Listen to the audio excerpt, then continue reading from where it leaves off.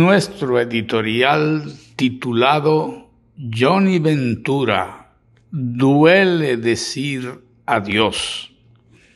El fallecimiento de Johnny Ventura, nombre inseparable del merengue, género musical que identifica a la República Dominicana, impacta dolorosamente a un pueblo que ha admirado y disfrutado de sus interpretaciones y seguía su carrera que parecía felizmente interminable, sintiendo su canto y el sonido de los instrumentos que le secundaban como genuina expresión del arte popular.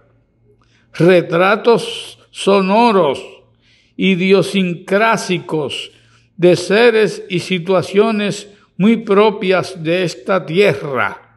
Configuraba su voz un anecdotario en descripción de vivencias criollas que queda en los acetatos y modernas memorias electrónicas para la posteridad, bajo la firma de El Caballo Mayor.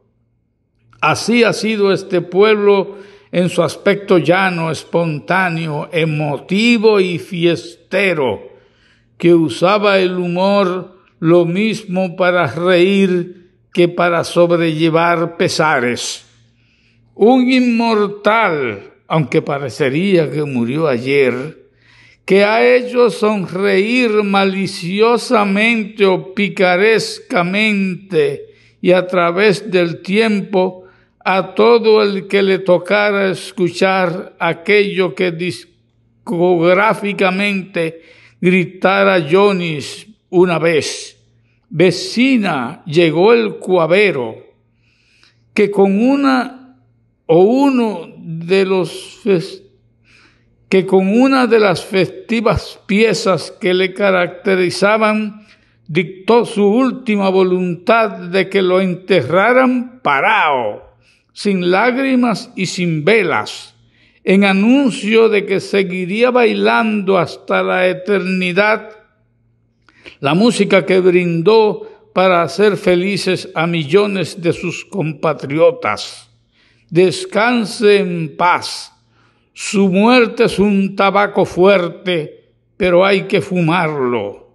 Condolencias a sus seres queridos y a todos los que con él rindieron tributo al merengue. Un inmortal, aunque parecería que murió ayer, que ha hecho sonreír pícaramente y a través del tiempo a todo el que le tocara escuchar aquello que discográficamente gritara Johnny una vez.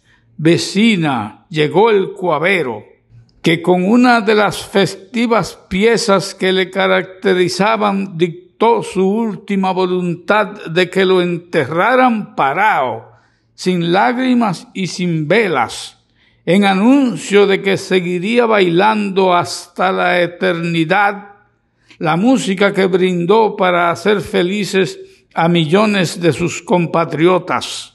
Descanse en paz su muerte es un tabaco fuerte, pero hay que fumarlo.